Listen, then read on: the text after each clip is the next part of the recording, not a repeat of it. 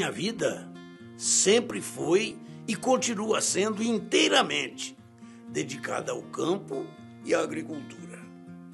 O mundo precisa de alimentos. Sabemos que sem alimentos não haverá paz. E nós, produtores rurais, que fazemos parte do agronegócio brasileiro, precisamos de paz para produzir mais e melhor. Conclamo todos os brasileiros a buscarem o entendimento.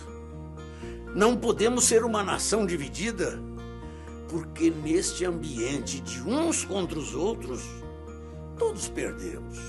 O desentendimento não gera riqueza, não põe comida na mesa, barriga vazia gera migração, guerras pelo mundo.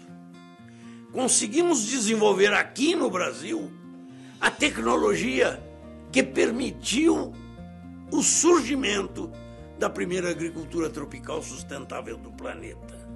Sei que isso incomoda os nossos concorrentes do hemisfério norte, que nos acusam de não respeitar o meio ambiente.